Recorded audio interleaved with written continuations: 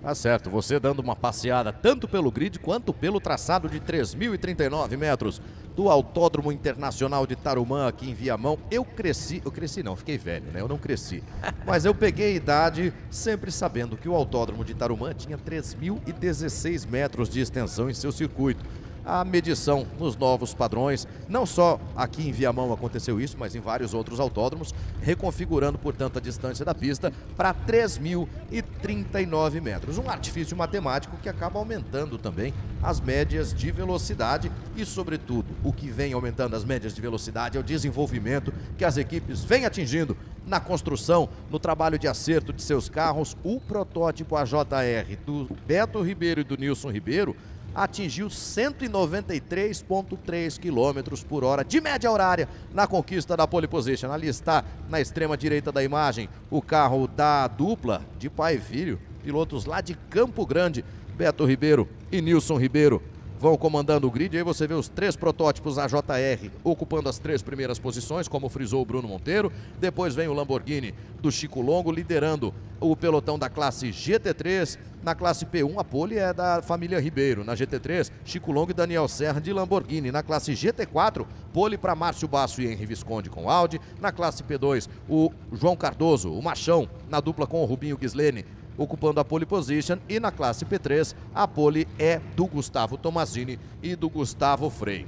Aí você já acompanhando toda a movimentação de bastidores, todo mundo já recolheu o time aqui para a área de boxes e os pilotos vão partindo na primeira de duas voltas de apresentação pelo traçado de 3.039 metros do Autódromo Internacional de Tarumã, aqui na cidade de Viamão. Veja só toda a diversidade dos modelos de carros que compõem o grid do Endurance Brasil nesta terceira etapa. Aí a tomada lá ao fim da reta dos boxes, aí é o ponto de frenagem de redução de marcha, onde os pilotos já vão buscando a tomada da curva 1, a pole position. A primeira deles na temporada é de Nilson Ribeiro e José Roberto Ribeiro com o protótipo AJR. A família de Campo Grande atingindo aí o recorde com o tempo de 56 segundos, 610 milésimos para a conquista da pole position.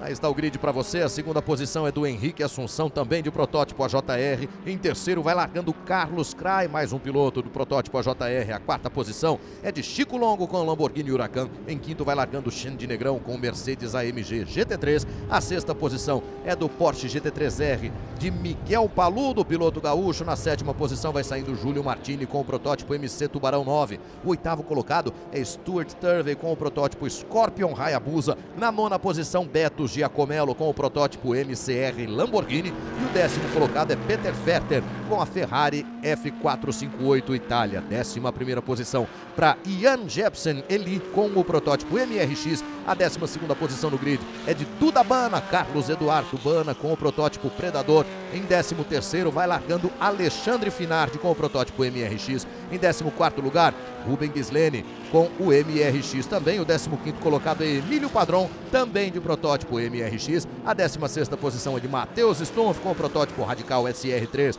O 17 colocado é o Mauro Kern com o protótipo MC Tubarão. O 18 colocado é o Gustavo Tomazini de protótipo MRX. Na décima fila temos dois protótipos MRX. O 19 lugar é do Gustavo Simon e o vigésimo lugar é do Aldoir 7. A vigésima primeira posição, mais um piloto do MRX, do modelo MRX, é o Carlos Antunes Filho. Ele também corre em dupla com o filho dele, com o Yuri Antunes. O 22 colocado é o Cali Crestani com o protótipo Tornado Hayabusa. Em 23 Sérgio Cardoso, Maninho, no protótipo Spider. Esse Spider tem até um chassizinho alongado, uma solução mecânica e tecnológica muito bacana adotada pela equipe. O Maninho, parceiro de Luciano Borghese, larga em 23º, 24 lugar é do Márcio Basso com o Audi RS3. Em 25º vai largando Sérgio Ribas com o Mercedes CLA 45 AMG. O Sérgio Ribas também formando dupla com o filho dele, com o Guilherme Ribas. O 26º colocado é Alejandro Signetti, El Príncipe Alejandro.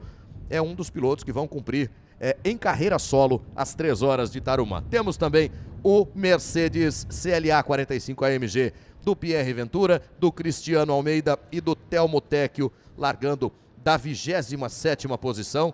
É o carro número 10. Quem vai largando é o Pierre Ventura. Pierre Ventura é quem larga no carro número 10, lá da 17 da 27 posição, melhor dizendo. Os pilotos já vão se preparando aí para a formação de duas filas indianas paralelas. O Bruno Monteiro e eu vamos nos entendendo aqui com as nossas anotações que vão nos guiar em parte dessas três horas de Tarumã. Os pilotos vão buscando, veja só, o devido aquecimento dos pneus para o início da disputa. Difícil aquecer pneus. A pista está fria. Opa, mas já teve gente fritando pneus. Aí é, esquenta mesmo. É, esquenta e deixa quadrado. É, esquentar é outra coisa. Isso aí é fritar os pneus e vão para a largada. Preto Fincato já recolheu o time, o piloto do safety car Vamos para o início das três horas de Tarumã. Já está valendo a disputa. Já abre vantagem o Beto Ribeiro na primeira posição. Curva 1 para ele, já voou pedaço de carro por ali. Os pilotos vão buscando espaço na desafiadora curva 1 do Autódromo de Tarumã. Veja ali como vai mantendo a segunda posição Henrique Assunção. Fica ali em terceiro Carlos Craio. Xande Negrão já assumindo a quarta posição. É o líder da categoria GT3. Você viu ali o protótipo do Ruben Gislene. Parece que foi ele que fritou pneus. Parece que foi ele que largou pedaço de carro pela pista ali logo depois da largada. Peter Ferter vai para cima do Chico Chico Longo com a Ferrari F45 Itália. Olha a largada que fez o Peter Ferter? Ele veio de décimo no grid geral. Vamos ver se para sexto. Opa, vem para sexta posição. Ele era o décimo colocado no grid. Uma excelente largada desse aí do piloto de Dourados, Mato Grosso do Sul, Peter Ferter. E vai para cima do Chico Longo. Traz junto dele Miguel Paludo com o Porsche GT3 R.